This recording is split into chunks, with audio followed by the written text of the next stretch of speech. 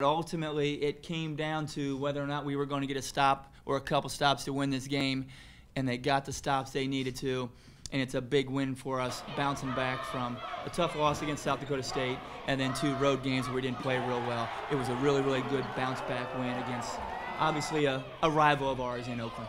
We talked about it in the locker room. Everybody, not just on the floor, but on the bench, got into it. And, you know, everybody just feeds off of that. So we get a mm-hmm. couple things going good for us and a couple players knocking down shots or getting good defensive stops. It just, it turns into everything else more good offense, plays, you know, more aggressive defensively. And that's what we need. We, we've been talking about getting that energy back and just having fun and just doing what we know how to do. And tonight, towards the end there, once we got that back, things worked out in our way. What I was really proud of is our last home game, it came down to trying to find a way to get a stop, and we didn't get it.